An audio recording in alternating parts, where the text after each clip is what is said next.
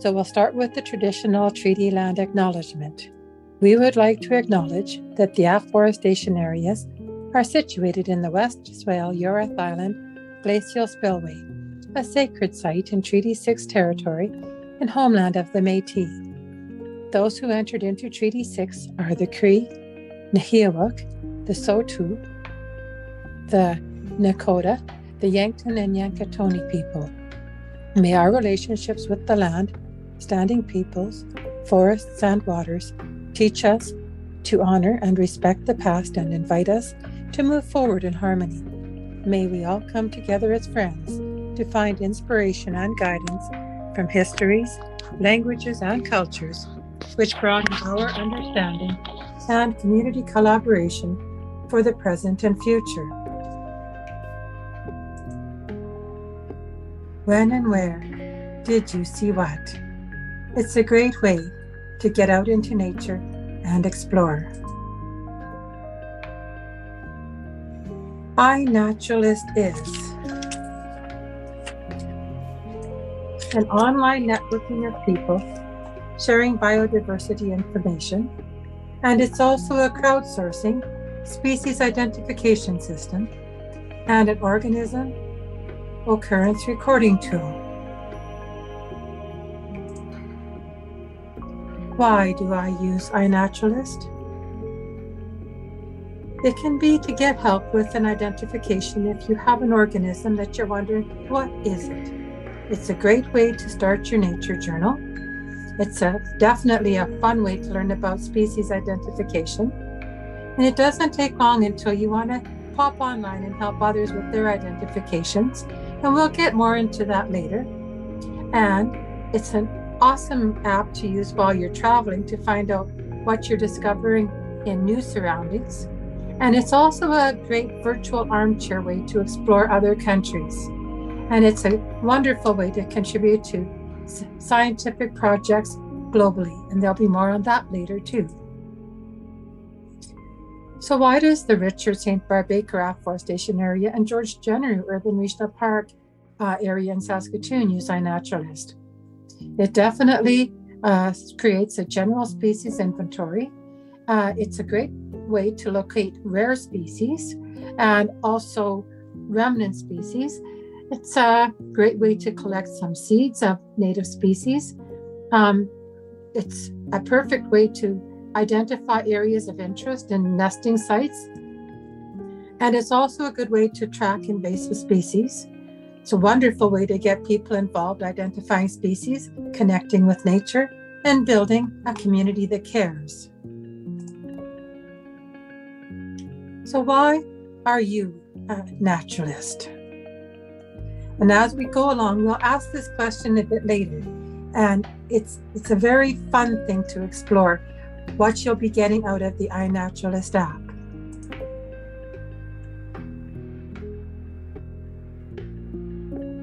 The most common question is, what is it?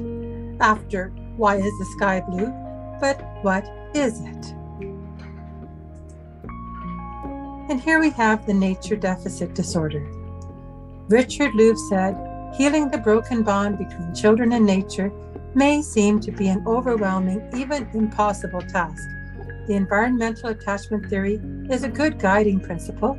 Attachment to land is good for child and land. So we will pause a moment here uh, just to identify the various um, images in this screen. And now if we put this one up and take a moment to identify those images, which one is easier?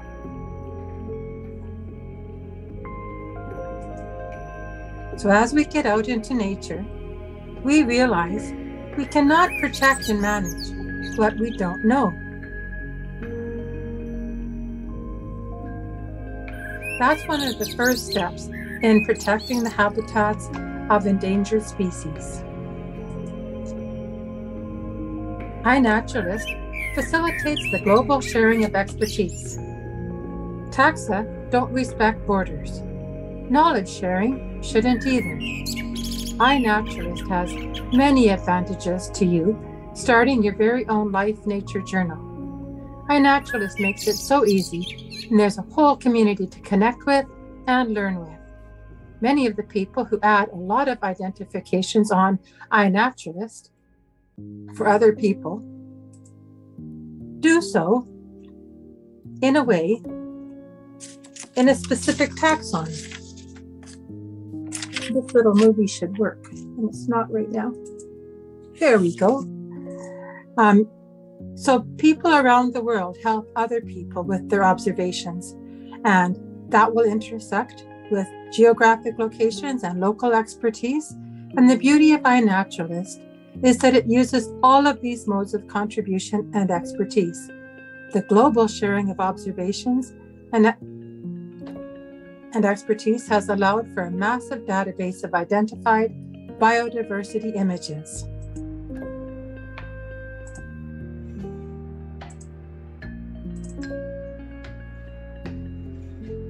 Pokemon games were very popular in the late 1990s. The augmented world of virtual creatures like Pikachus, Pokeballs, and eggs don't help scientists understand the world around us. However, discovering and spotting any number of organisms is enormously helpful. Realizing that you have taken a photo of a butterfly species at risk helps ecologists learn how maybe forest fires are displacing wildlife and what is happening in this era of climate change. There are also so many different areas of iNaturalist to explore. There's life lists, journals, hotspots of biodiversity, and we'll get into many of these as we go along tonight.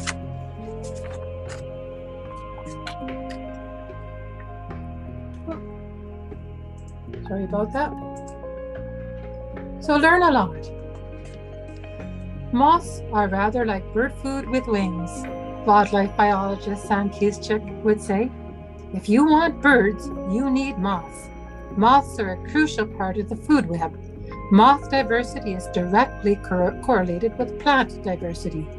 When you can see just a glimmer of the sun going down, the butterflies are going to sleep. The moths are waking up.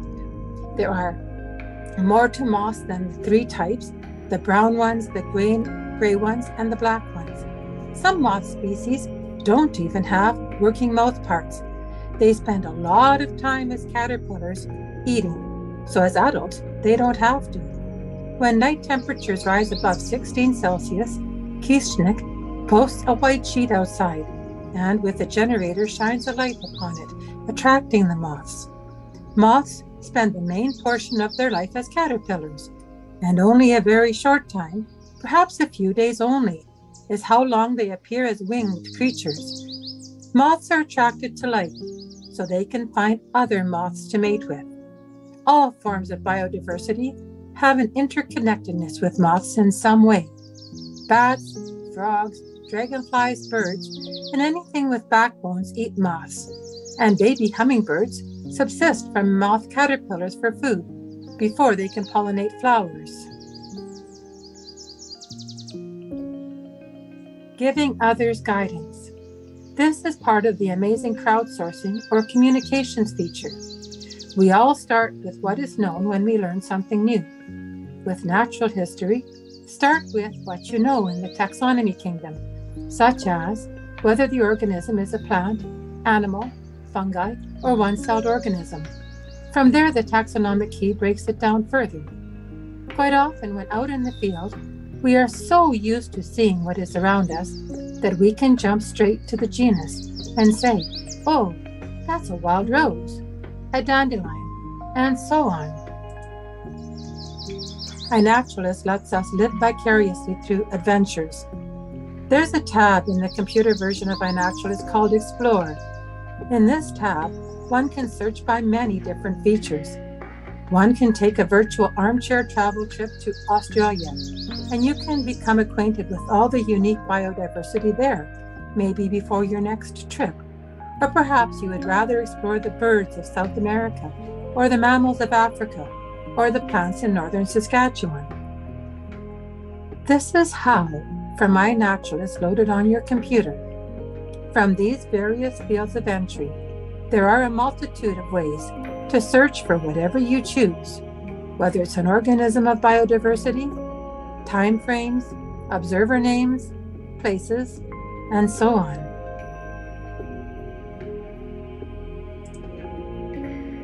As you start out on iNaturalist photogra- photographing what is around you, various people are going to come along and make comments on your observation. Some will be experts in a particular kind of field, like perhaps Nathan Taylor, who maps, observes, and confirms mainly the Euphorbia genus or the spurge flowering plants. Some will be citizen scientists, like members of the general public, and others will be general biologists or naturalists. Here are four people who are actually curators or on iNaturalist.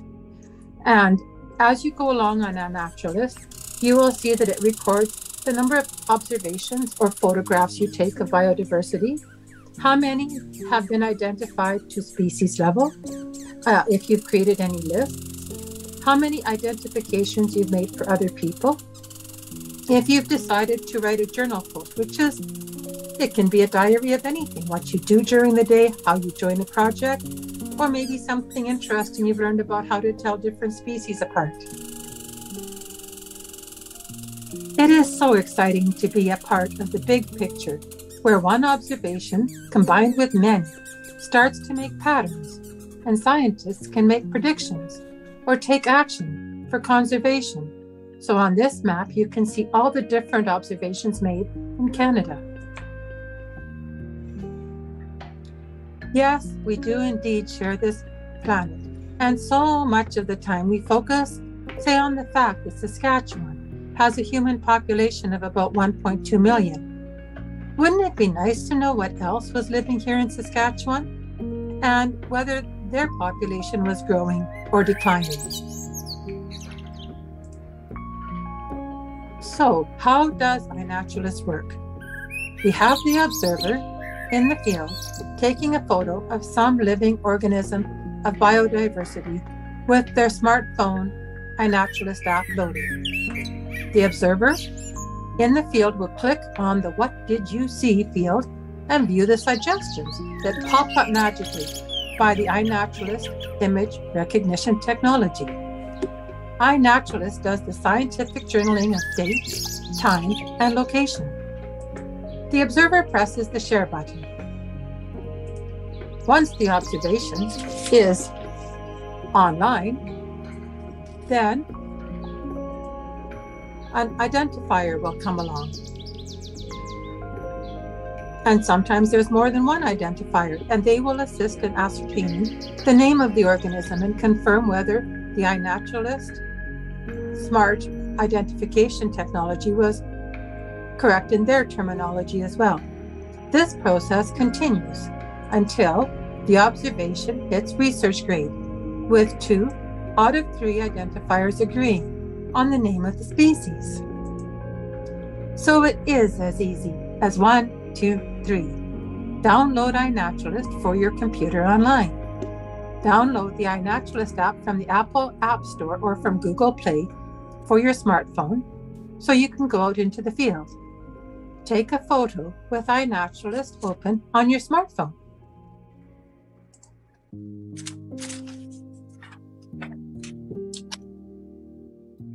An observation like this is a depiction of one organism. Here, there are three photos that we can see. I don't know if you can see my mouse moving around there, of the same organism.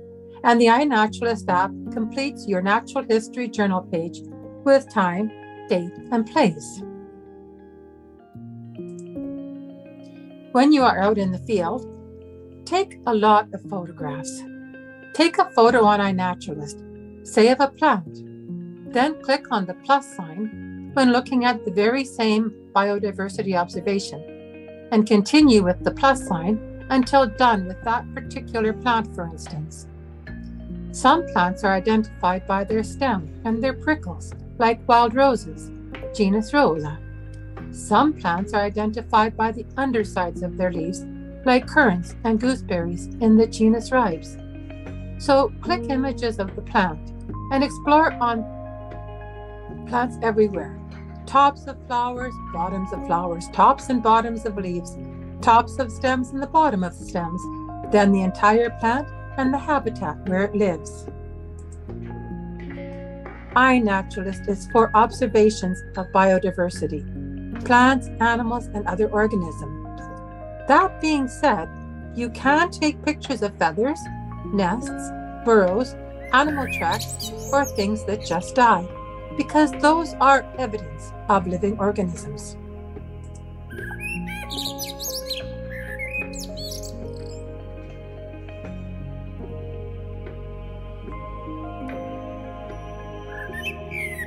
Saving species becomes as easy as one, two, oh, I'm going backwards for some reason.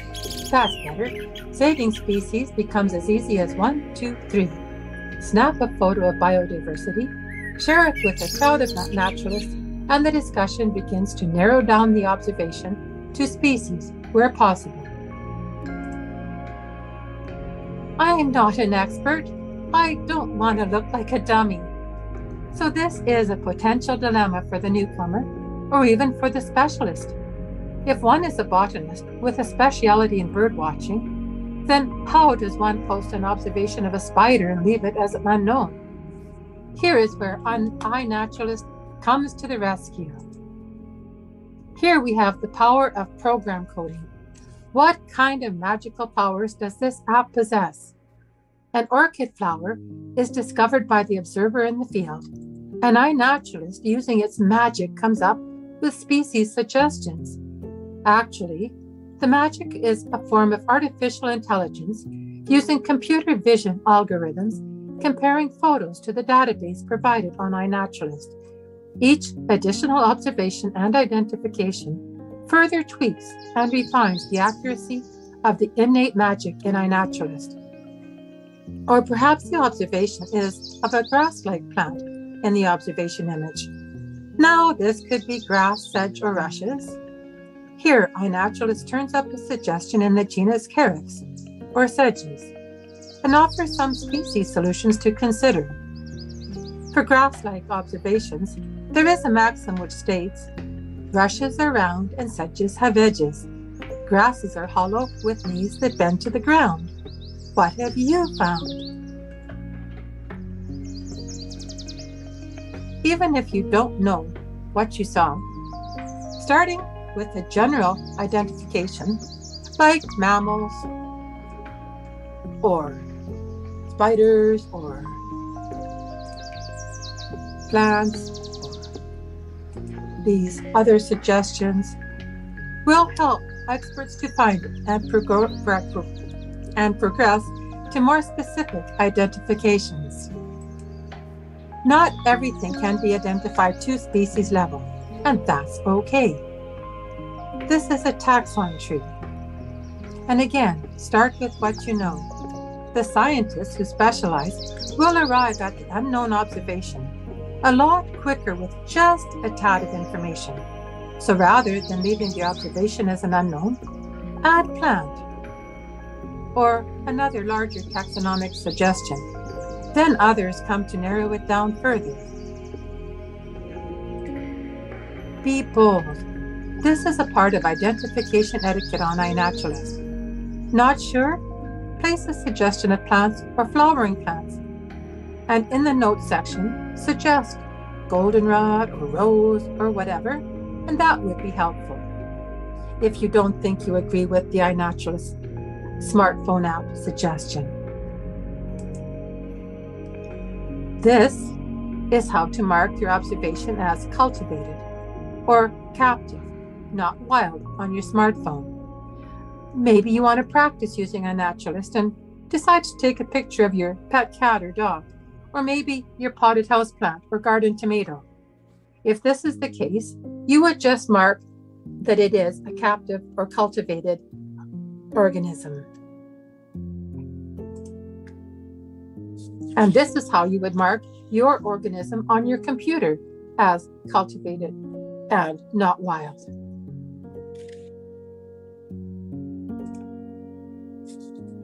So, do you have a photograph with more than one organism and you want to know both of them? That's easy. Just duplicate your observation. You would, in the notes section of the first um, observation, just comment that you're uh, interested in identifying the pollinator. And then on the duplicate observation, just mention that you're interested in identifying the flower. And the people will come along and know what you're aiming for, getting the name of.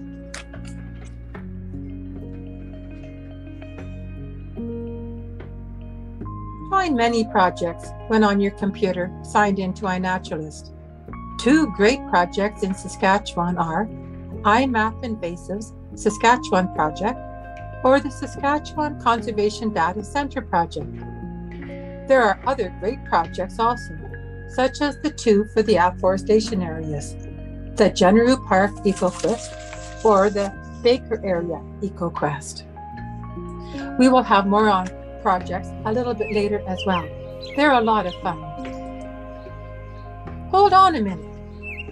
I said earlier that when you're starting your natural history journal, that iNaturalist would automatically record the date and the location. But sometimes it's not a great idea to make all the data known pub- publicly. Sometimes a species at risk could be devastated if disturbed or picked if it's a flower that was picked to extinction. You may allow projects to see the location if you desire. So if I signed into the Saskatchewan Data Conservation Centre with the intent of registering species at risk, I could allow that project to know the location, but not the general public. Or IMAP invasives so that the invasive species could be somewhat controlled.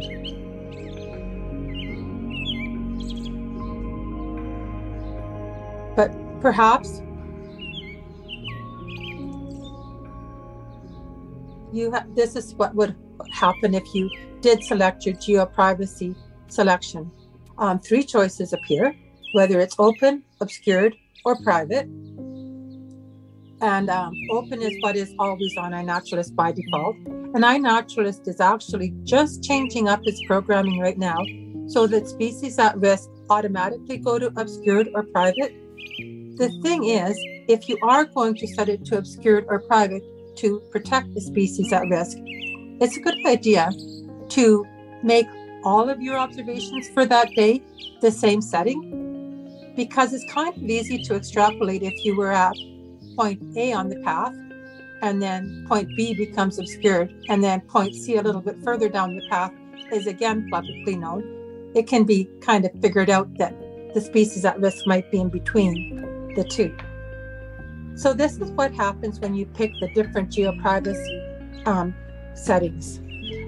Open gives a pinpoint and it goes right down to the latitude and longitude. Obscured kind of gives, oh, it's kind of in this area in the province.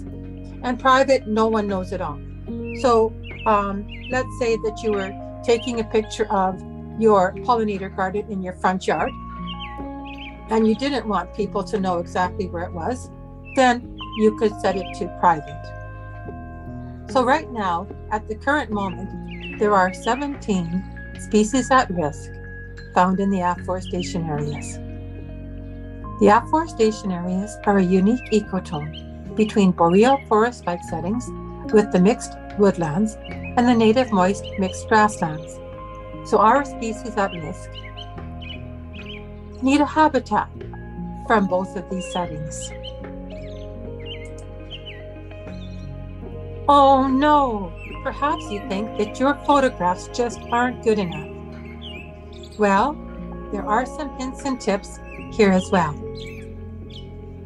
The best of the best tip and trick is to snap a lot of photos. Try to get as many angles as possible, say of insects. Try to get as many various poses also of plants as possible.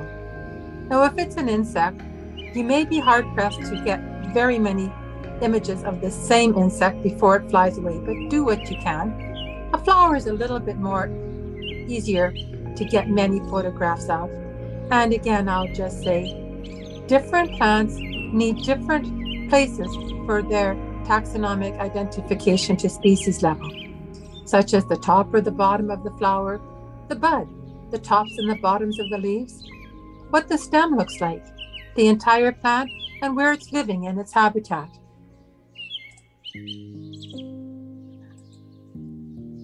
Tips to get better observations. Get up close.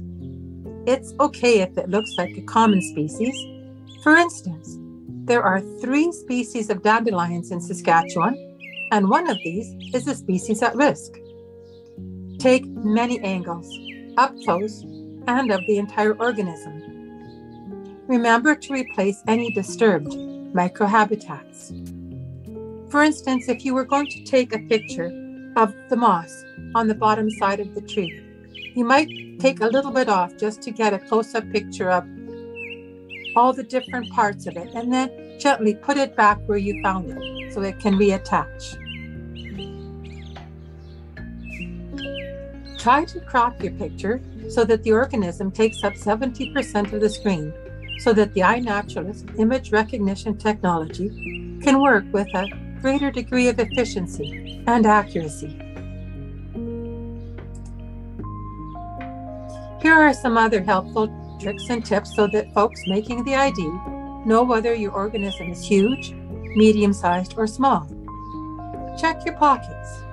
If you don't happen to have the ruler or measuring tape with you, select a coin and put it beside the marked organism, because everybody knows the size of a dime or a quarter. Bring along a magnifying glass or a jeweler's loupe for an instant close up image. Bring along a white cloth or a white piece of paper to place behind your organism to help separate it out from the background. This is especially helpful for the small, fine parts of an organism, like the top of a grass. If you don't happen to have a white cloth or a paper with you, place the organism in front of your pant leg or shirt sleeve, and this also works. There are so very many different common names for organisms at times. Here, there is purslane. There can be many different regional names for the same plant. However, the taxonomic name remains the same throughout all the differences. The first name, Portulaca, is the genus name, and the second is the species name. So, why, oh, why does my observation still say unknown? Why isn't this crowdsourcing working?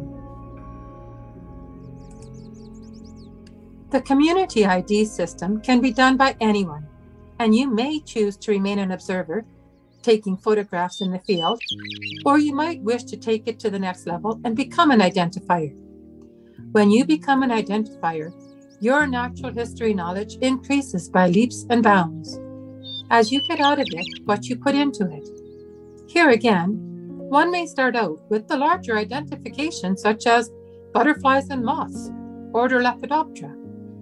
One sneaky thing is, perhaps you have taken an observation of a spider, and you just list it as a spider. Then an entomologist comes along to suggest that it looks like an ant mimic sac spider. And then you take that genus Castianeira and look that up in the Saskatchewan Data Conservation Center Invertebrates Data Report. And it turns out that there are only three species of Castianeira in Saskatchewan, narrowing down the search and the taxonomic discovery in the Keys enormously. And just like Saskatchewan has charts of the different organisms existing in our province, so does Manitoba and Ontario and Alberta. And so, therefore, it's easy to funnel down your observation in those areas as well. The internet is very rich with knowledge right now. An example of an observation changes from casual with just your observation or the iNaturalist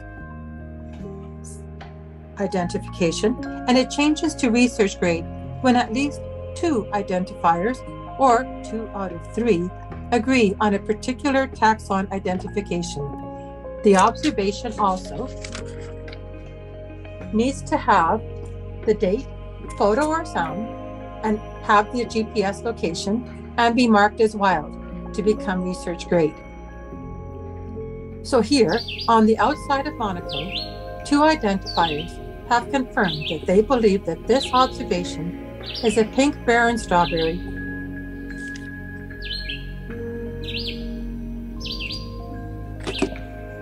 Here is another unique and fun opportunity to connect with the community discussion.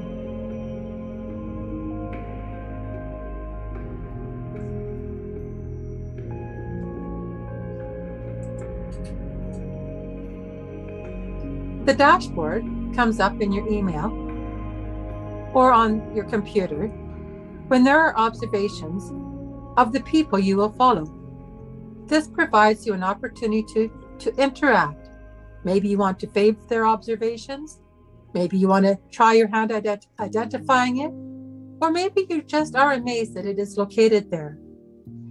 If you're wondering, for instance, if you're in an area where um, garter snakes might um, come out of their hibernaculum in the spring from their winter hibernation, you can be watching garter snakes on iNaturalist and you get a pretty good idea of when hibernaculums around the province are, are when, when it's getting warm enough for them to come out of hibernation. Now then, another helpful way to receive identifications from the computer vision prediction system is to double check the settings on your computer and ensure that you are affiliated with iNaturalist Canada. As the species suggested in iNaturalist Canada are those which are common to Canada. There are so many branches of iNaturalist around the world. It is just amazing. Here are some wonderful resources on iNaturalist Canada from this listed webpage. iNaturalist works on a wonderful community level, which makes it seem like magic.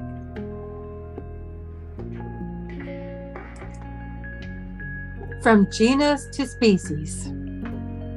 You, as an observer, can delve into learning taxonomic keys. And it comes in handy to have the organism identification from kingdom to species level. Here, are a small sampling of some internet sites. Besides the taxonomic keys, the Saskatchewan Conservation Data Centre again has the listing reports of all biodiversity in Saskatchewan. And it also has online guides on iNaturalist, very similar to picking up uh, a flower book, a flower identification book from a bookstore. Um, but it's on iNaturalist as a, an online guide.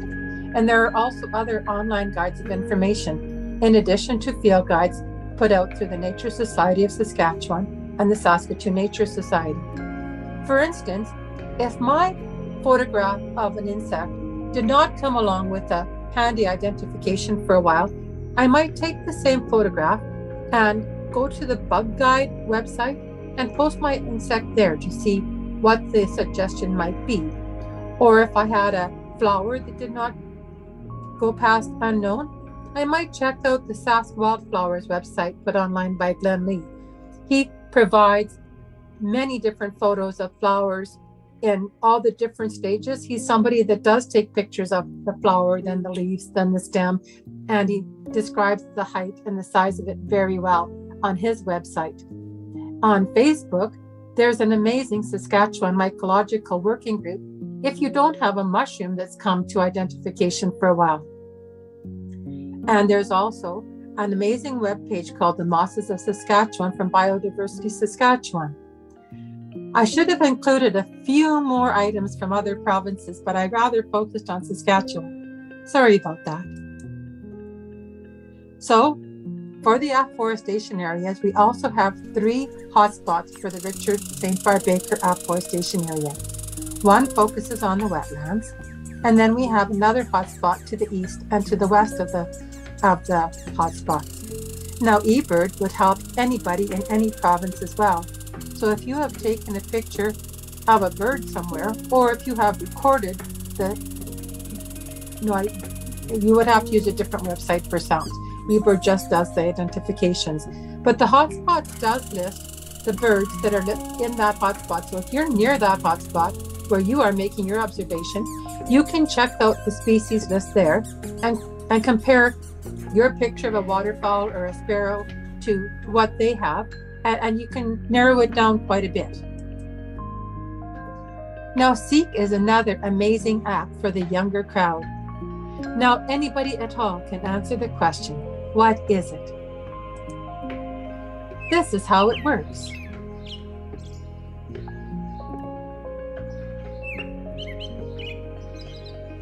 They just point the phone at the plant or organism or insect, and it uses the iNaturalist database of images to bring forward a suggested name for whoever is pointing the phone at whatever they're looking at. Now, these are the differences between using Seek and iNaturalist. Seek is, kids say, and it's gamified to give badges and rewards for being out in the field, looking at things. It's kind of like a Pokemon game with nature.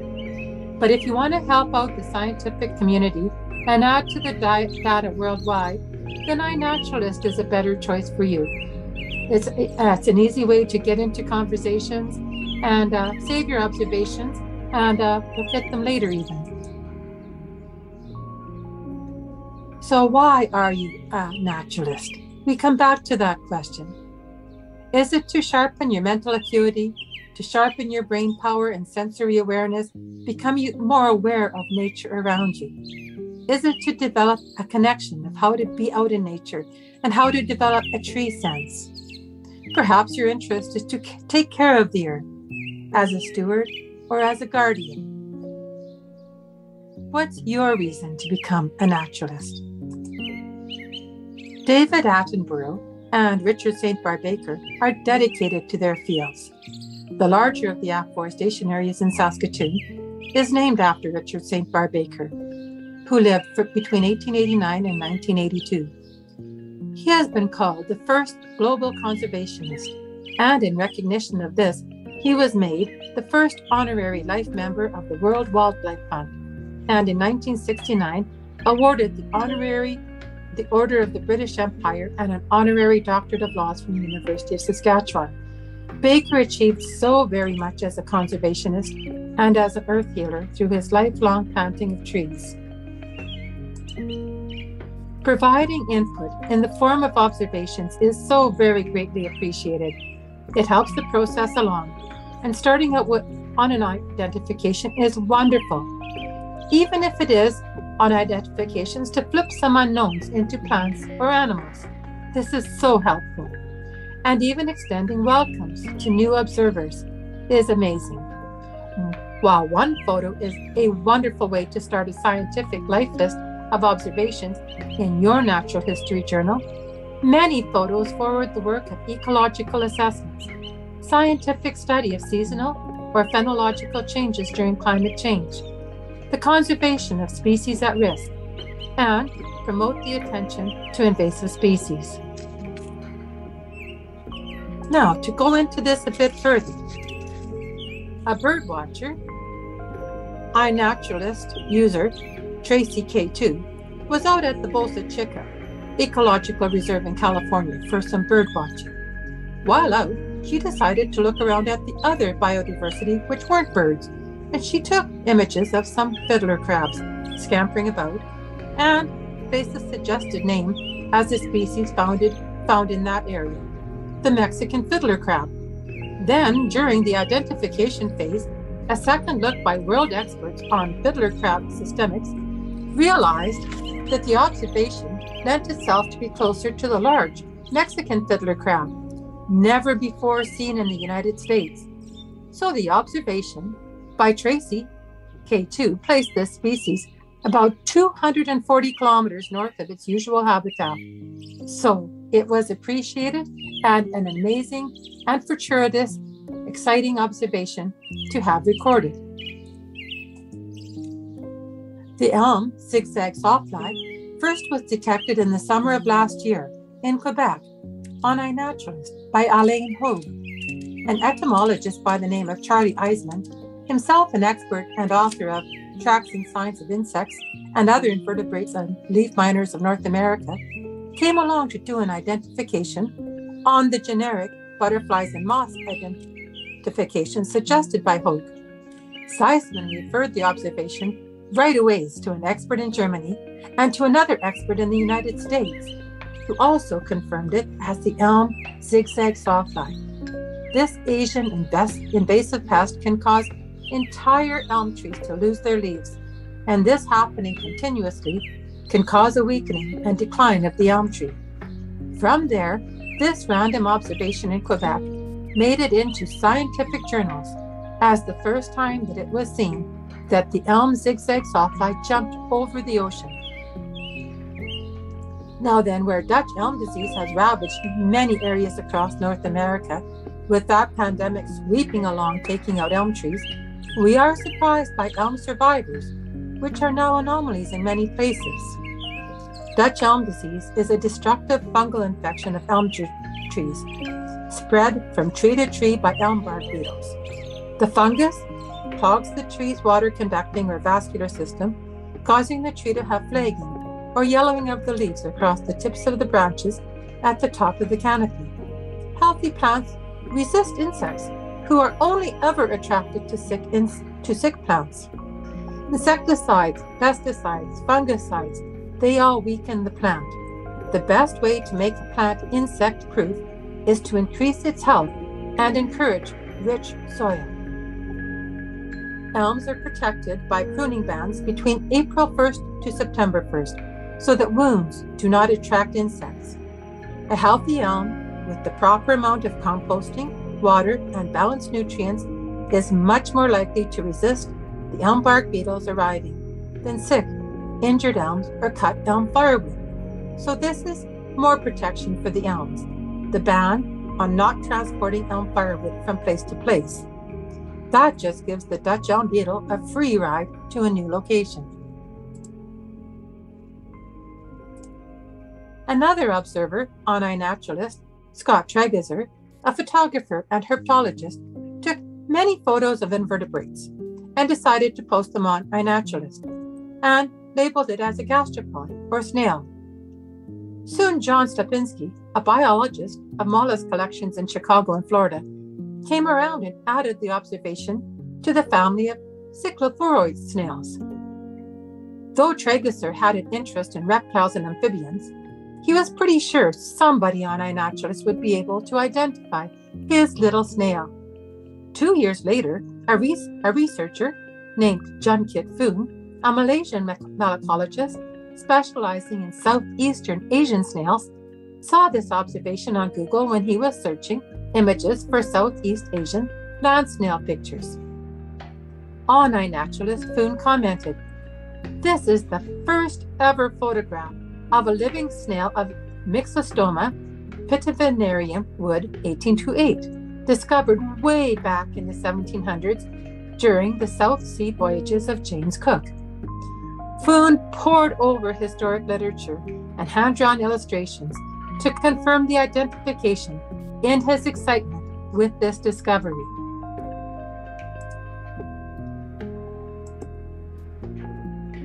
Juanada 037 or Daniel Vasquez Restrepo, took more than one observation of a gecko in Colombia. And after much conservation with Charlie Eve, Yingyao Lakwang, who is a naturalist at the Natural History Museum, studying specifically Hemidactylus or house geckos, it was determined that this specimen was not the Asian house gecko, but rather the first time ever Colombia had seen the Indo Pacific house gecko. Restrepo confirmed the ID through the chin shield, which was a determining factor listed in the taxonomic keys and called in other gecko botanists. This is a report from Michael Moore, a graduate biology student who used iNaturalist photos to study the color of dragonfly wings. The observation correlating coloration to climate change may affect breeding patterns should the females not recognize another dragonfly of her species due to the dramatic differences in wing markings.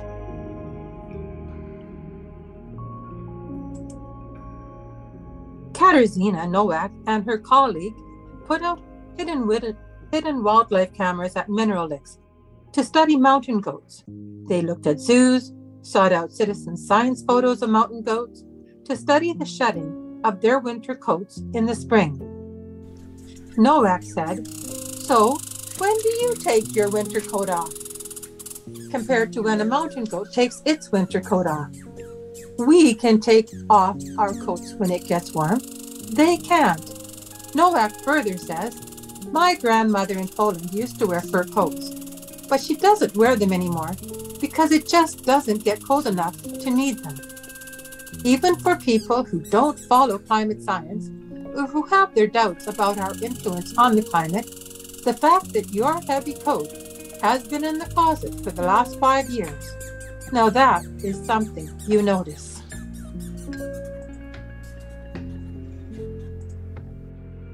So it is indeed a powerful network of crowdsourcing, scientific projects, and collaboration in the detective work which goes into identifications. It is an intriguing real life game of Pokemon Go or Where's Waldo for observers who become more and more tuned into their surroundings. iNaturalist curator Scott Loarie, a developer working on iNaturalist, says that natural history really is a game.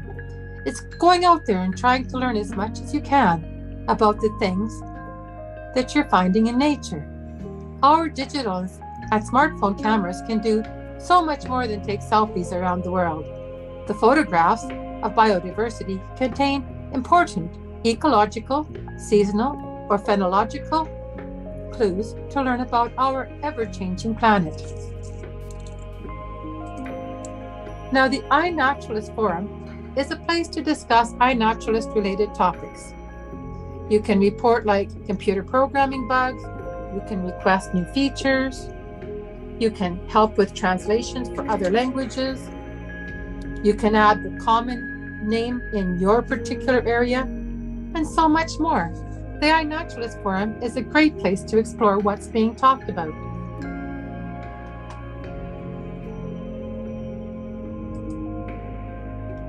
iNaturalist is an amazing resource for scientists in a diverse array of fields. They can track changes, ranges, the phenology, and so much more.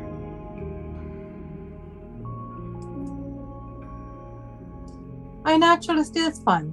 Discover more on iNaturalist, including fun projects. Join the Name Game project and connect your observation, which has an interesting, odd, absurd, or awesome name. Boop Boops, Edible Monkey, Sword Bearing Conehead, Wahoo, The Sorcerer, The Brick. These are just a few of the submissions to date. Sounds like a lot of fun. The Observational Comedy Project invites observers to attach their observations to the project, which are a bit unusual looking, are not so serious biodiversity observation. Another project, Welcome to Gerald's of the World project, brings together the funniest observations out there. If the observation or the social networking is funny, it belongs in this project. There are projects for Never Home Alone, the wildlife of homes, the bus stop observations, or human faces and masks in nature. Now, when is a ladybug like a cab? When is a caterpillar like a bus? When is a dragonfly like a cargo plane? Answer Whenever any of these organisms is carrying unwanted passengers or parasites. If you think that this is fun, join the Passengers, Parasites Taking Rides project and explore the observations, or just add a few of your own. Another project is entitled Organisms on or near Appropriate Signs, highlights the serendipitous chance encounters when biodiversity interacts with human signs. It's just those silly, coincidental connections. Richard St. Barbe Baker said, We feel that our greatest victory remains to be won when man will realize his oneness with the trees, the creatures, and with all living things, not ours to destroy, but to be handed on for the enjoyment of future generations. Getting more help is available. iNaturalist has a frequently asked questions page. They have the forum. They have a general support email. And so it's very easy to find help when you want to get onto iNaturalist. There's also greeters that are wanted. So if you ever want to go on iNaturalist and just put out a welcome greeting to new users, that is enormously helpful.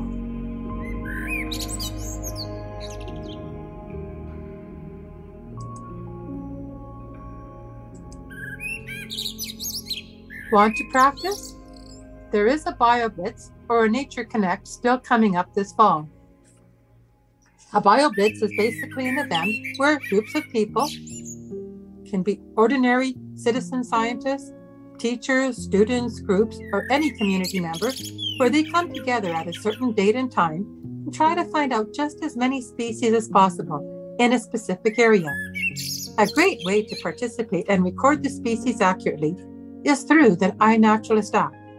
So it is blitzing with an energetic, concerted effort on one task to find biodiversity, hence BioBlitz. So this Sunday at 2 o'clock Central Standard Time at Richard St. Barbe Baker Afforestation Area, we'll meet at the Southwest Off Leash Recreation Area and explore the neighboring forest and have a lot of fun and get to learn the iNaturalist app and learn a little bit of the cultural, geographical history of the area.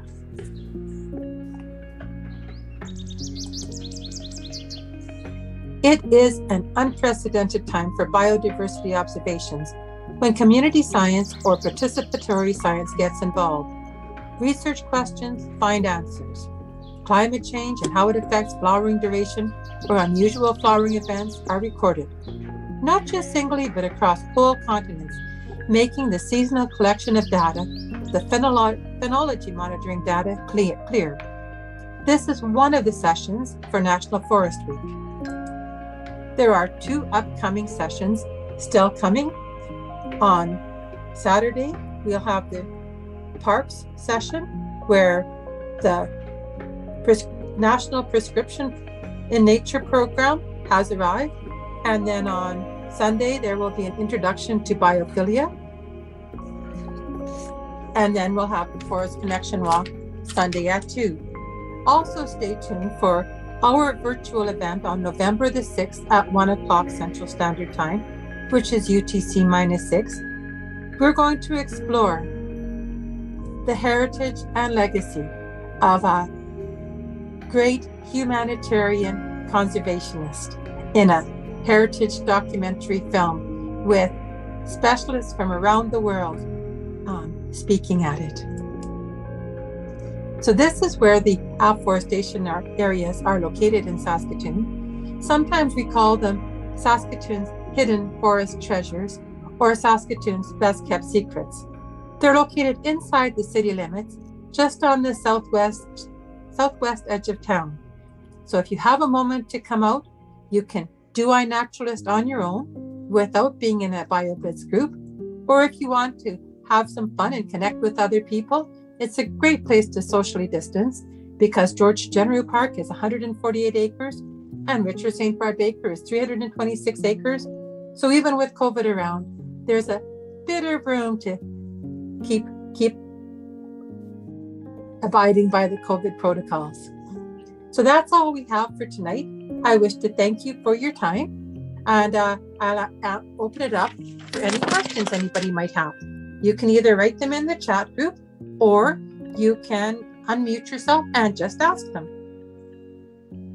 Oh, it looks like we have uh, someone in the chat group already. So, yes, the elm zigzag sawfly is a very new species. We had been very worried about uh, Dutch elm disease for elm, as well as the green ash the ashes are being affected also by insect infestations. But yes, it's very good to watch for that zigzag patterns in the leaves of the elms for sure. And, and how where it's heading from Quebec, that's for sure. Are there any other questions or comments?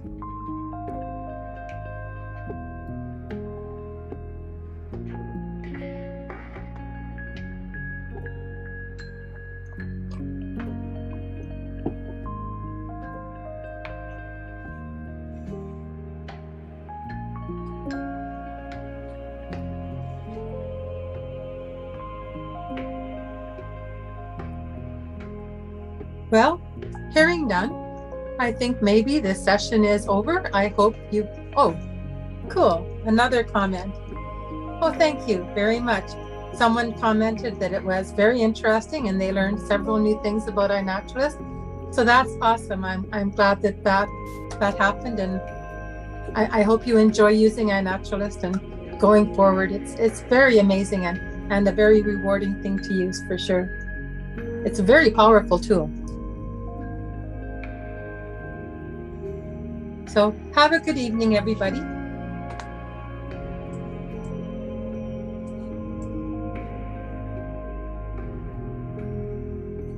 Yes, quite often it is quicker than Bug Guide.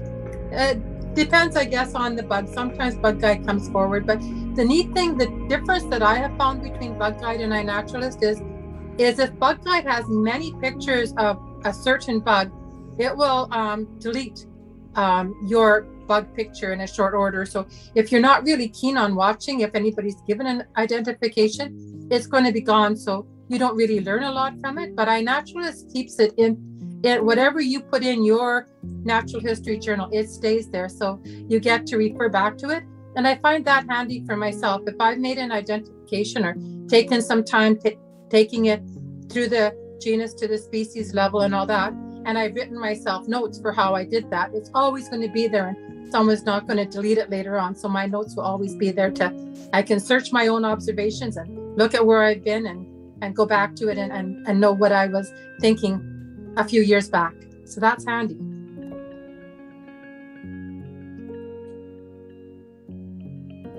And thank you. Thank you for coming.